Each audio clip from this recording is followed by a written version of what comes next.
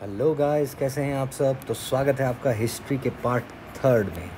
बड़े ही मज़ेदार क्वेश्चन हम करते हैं तो आपका क्वेश्चन जो थर्ड पार्ट है, वो स्टार्ट हो जाता है, क्योंकि पिछली वीडियो तक हमने क्वेश्चन नंबर थर्टी तक कर लिया था। तो चलिए बिना किसी देरी के स्टार्ट करते हैं। क्वेश्चन है, दयानंद सरस्वती जो हैं, वो फाउंडर थे इनमें से किस मिशन के? तो आंसर क्या आने वाला है, अभी पता चल जाएगा, देखिएगा आप। सबसे पहले ब्रह्म समाज की बात करते हैं। 1828 में बना था। राजा राम मोहन राय ने ब्रह्म समाज को बनाया था। ठीक है? फिर हम बात करते हैं परमहंस समाज की। परमहंस मंडली जो परमहंस समाज है, इसको बनाया था दडोबा पाडुरंग ने और दुर्गाराम मेहता जी ने। तो दुर्गाराम मेहता जी और दादोबा पांडुरंग के द्वारा इसको 1849 के अंदर बनाया गया था।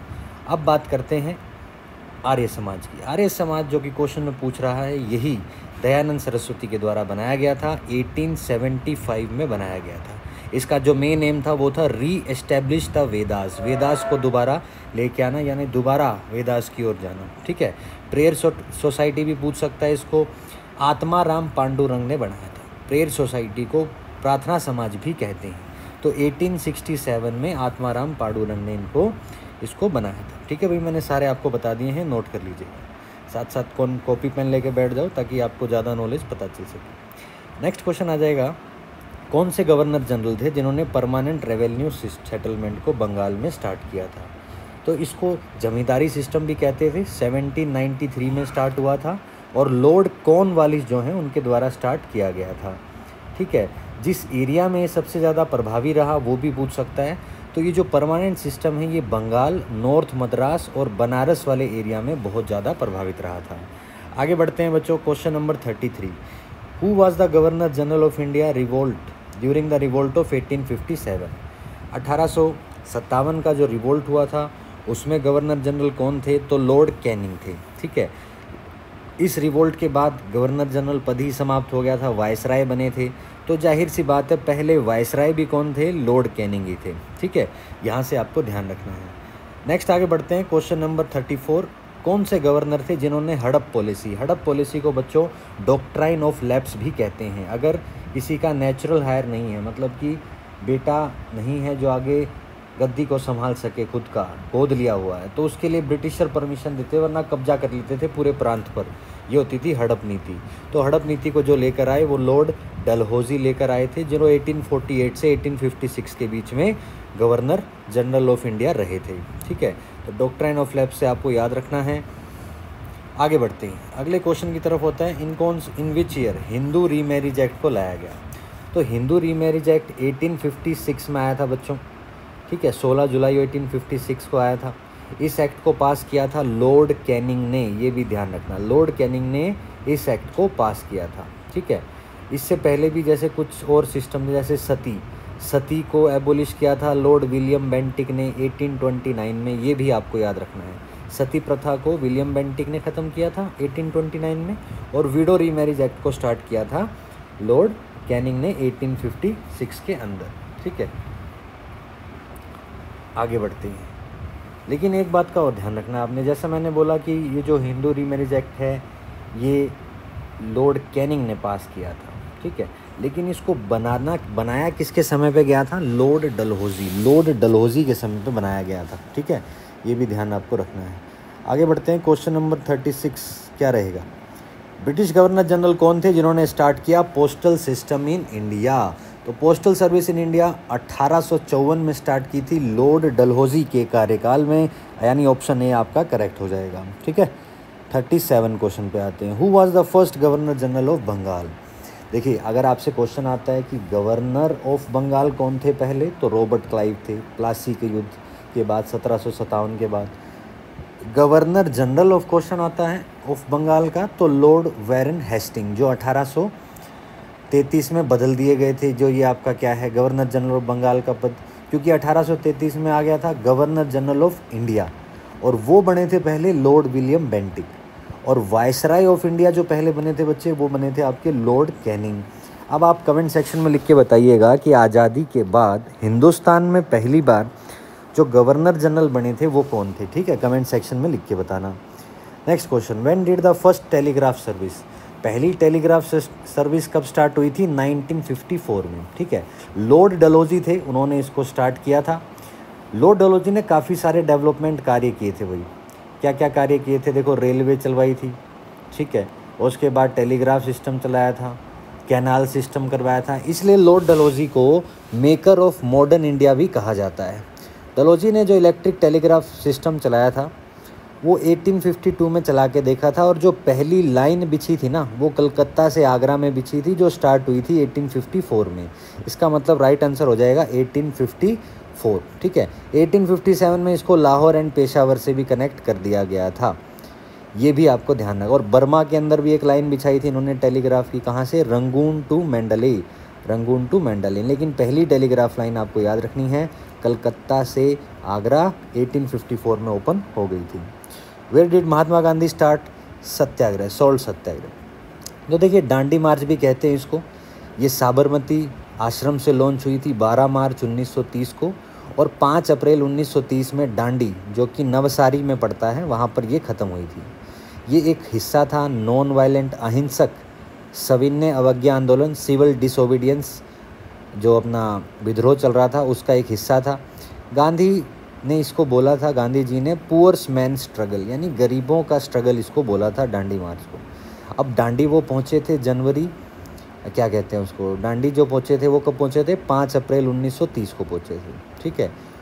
तो यहाँ से आप देख सकते हैं कि इस क्वेश्चन को कई तरीके से पूछा जा सकता है। मैंने सारे तरीके आपको बता दिए हैं।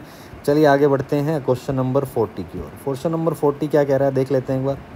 Was the last Mughal emperor last Mughal emperor कौन थे? तो आप सभी को पता होना चाहिए। लास्ट मुगल जो एम्प्रर थे, वो और कहीं नहीं, बल्कि बहादुर शाह द्वितीय थे। यानी ऑप्शन नंबर डी जो है, ये उन्नीसवें मुगल एम्प्रर थे। ठीक है, इनको अठारह में लीड कमान संभाल दी गई थी। मतलब कि रिवोल्ट पर बोला, आप भारत के राजा हैं तो आप ही आगे से लीड करेंगे। उस समय काफ़ी ओल्ड थे ये। लेकिन इन ये हार गए थे। इनको पकड़ के रंगून, यानी म्यांमार भेज दिया गया था। और वहीं पर इनकी डेथ हो गई थी, अठारह सौ के अंदर इनकी डेथ हो गई थी, ठीक है? लेकिन अगर आपसे पूछ लेता कि मुगल अम्पायर के फाउंडर कौन थे तो आंसर बाबर आ जाएगा, क्योंकि बैटल ऑफ़ पानीपत जो पहला 1526 में हुआ था, उसके बाद इन्होंने दिल्ली के अंदर मुगल एम्पायरशिप को स्टार्ट कर दिया था, ठीक है? और बाबर का मकबरा कहाँ है? काबुल में है, ये भी आपको ध्यान रखना है। अगला क्वेश्चन है when did Delhi declared as capital of India देखिए, जो नई दिल्ली की फाउंडेशन है वो एम्पर जॉर्ज फिफ्थ ने की थी, ये क्वेश्चन ध्यान रखना। एम्पर जॉर्ज फिफ्थ ने नई दिल्ली को बनाया था। दिल्ली दरबार लगा था 12 दिसंबर 1911 को। वहाँ पर अनाउंस किया गया था कि हम इंडिया की कैपिटल कलकत्ता से दिल्ली को शिफ्ट करेंगे। अनाउंस किया गया, या ध्यान से सुनना। लेकिन ये जो कार्यकाल अनाउंस हुआ था, इसके बाद इसको कहाँ पर, कब शिफ्ट किया गया था, ये क्वेश्चन आपको ध्यान रखना है। तेरह फरवरी 1931 को नोट कर लीजिएगा तेरह फरवरी 1931 को लॉर्ड इरविन ने, जो कि उस समय के वायस रहे थे, दिल्ली को नए कैपिटल के रूप में शुरुआत कर दिया गया था। ठीक है? अब यहाँ पर आपको क्या क्वेश्चन याद रखना है? सबसे पहले जो कलकत्ता से शिफ्ट करके वो दिल्ली को बना दिया गया था, वो आपका 1911 ही रहेगा, लेकिन आधिकारिक तौर पर इनाग्रेट जब किया गया था, वो 1931 था। दोनों क्वेश्चन ध्यान रखने हैं। तो 1911 इसका राइट आंसर हो जाएगा। आप सभी को इसके बारे में ध्यान होना चाहिए, ठीक है? नेक्स्ट हम आगे बढ़ते हैं। Who founded Anglo Vedic college Anglo Vedic college को दयानंद एंग्लो वैदिक स्कूल भी कहा जाता है डीएवी स्कूल्स कहा जाता है।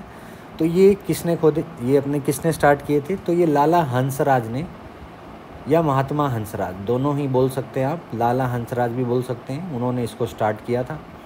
और अभी आपको पता ही है डीएवी स्कूल बहुत मात्रा में हैं पूरे इंडिया के अंदर। 1886 के अंदर लाहौर में जो है वो सबसे पहले बनाया था किन्होंने महात्मा हंसराज, यानी लाला हंसराज ने बनाया था। ठीक है? वो was the first governor general of India governor general of India पहले कौन थे? अभी बताया था आपको विलियम बेंटिक 1833 के अंदर वो बने थे। नेक्स्ट है when was the first train started in India पहली ट्रेन इंडिया में कब स्टार्ट हुई थी? ये आपको बताना है। तो पहली ट्रेन इंडिया में स्टार्ट हुई थी 16 अप्रैल 1853 को। मुंबई से लेकर थाने तक वो गई थी और 14 उसमें डब्बे थे जिसमें यात्री बैठ सकते हैं और तीन इंजन थे। जो तीन इंजन थे उनका नाम याद रखना है। सुल्तान, सिंध और साहिब। ये आपको नाम उसका याद रखना है। ठीक है? आगे बढ़ते हैं। क्वेश्चन नंबर अगले क्वेश्चन पे आते हैं। फोर्टी फोर हो गया अपना। क्वेश्चन नंबर फोर्टी फाइव पे चलते हैं। In whose time Indian universities were first establish Indian university कब इस्टेब्लिश की गई थी? किसके काल में इस्टेब्लिश की गई थी? ये वो पूछ रहा है। तो सबसे पहले अठारह सौ सतावन के विद्रोह के बाद ही यूनिवर्सिटीज़ बनाई गई थी और उस समय कौन थे हमारे वाइस वायसराय? लॉर्ड कैनिंग थे। और जो सबसे पहली यूनिवर्सिटी बनी थी बच्चों, वो कलकत्ता थी। यूनिवर्सिटी ऑफ़ कलकत्ता सबसे पहले बनी थी 24 जनवरी अठारह सौ सत्तावन को, ये आपको ध्यान रखना है, ठीक है? Who presented the theory of economic drain economic drain की थ्योरी 1867 में दादा भाई नरोजी ने दी थी, जिसमें उन्होंने कहा था, ब्रिटेन इंडिया को लूट के पैसे को ले जा रहा है, ठीक है? पावर कम हो जाती है, कोई बात नहीं कभी कभी इसकी इंस्ट्रूमेंट्स ही वो हमने हटा दिया है।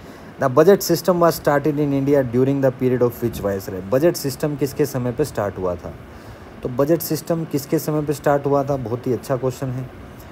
कैनिंग के समय में डलहौजी तो आंसर कैनिंग हो जाएगा, क्योंकि जो सत्तावन की क्रांति के बाद ही बजट लाने का प्लान बनाया गया था तो 1857 के समय ही लॉर्ड कैनिंग के द्वारा इसको स्टार्ट किया गया था। पहला न्यूज़पेपर किसने स्टार्ट किया था? तो जी ए हिकी ने, ठीक है? जे हिकी ने, जिनका नाम जेम्स अगस्तस हिकी है, उन्होंने स्टार्ट किया था और उस अखबार का नाम था हिकीज़ बंगाल गैजेट, या इसको ओरिजिनल कलकत्ता जनरल एडवर्टाइज़र भी कहा जाता था। इंग्लिश भाषा में आया था, वीकली न्यूज़पेपर था और कलकत्ता में स्टार्ट हुआ था। ठीक है, ये आपको ध्यान रखना है। तो 1770 1780 से 1782 के बीच में चला था, यानी स्टार्ट सत्रह सौ अस्सी में हुआ था भारत का पहला अखबार। ये याद रखिए। In which year was Morley Minto Morley Minto कब आए थे? 1909 में आए थे। इसी में पहली बार मुस्लिम कम्युनिटी को सेपरेट राइट मिले थे। पहली बार भारतीयों को एग्जीक्यूटिव काउंसिल में जगह मिली थी लॉर्ड मिंटो के अंतर्गत। और जो पहले भारत के कार्यकारी सभा में गए थे, वो सत्येंद्र सिन्हा भी थे। इसी एक्ट के द्वारा ये हुआ था। 1909 में आया था ये। ठीक है? कम्युनल ग्राउंड स्टार्ट हो गया था। मुस्लिमों के अलग से चुनाव, पृथक चुनाव भी इसी में स्टार्ट हुए थे पहले। आखिरी क्वेश्चन पे आ जाते हैं बच्चों। आज का आखिरी क्वेश्चन रहेगा। Question number fifty during the tenure of which viceroy the capital of India was shifted to Calcutta to Delhi अभी मैंने बताया था आपको 1931 की बात है कौन से थे? क्लाइव थे कैनिंग थे लिटन थे या हार्डिंग थे? तो लॉर्ड हार्डिंग जो थे, उन्होंने 1911 में दिल्ली दरबार लगाया था और उसमें ये आपका कहा गया था शिफ्ट किया गया था। और इरविन जो थे, उनके टाइम पर 1931 में इनागोरेट किया गया था नई दिल्ली को, ठीक है? तो यहाँ पर आंसर हो जाएगा option number B lord Hardinge चलिए बच्चों, उम्मीद करता हूँ आपको बढ़िया लगी होगी क्लास लाइक कर देना वीडियो को. पहली बार आए तो चैनल को सब्सक्राइब कर मिलते हैं अगली वीडियो में. तब तक के लिए हँसते रहिए, मुस्कुराते रहिए और देखते रहिए चैनल को. Tata and bye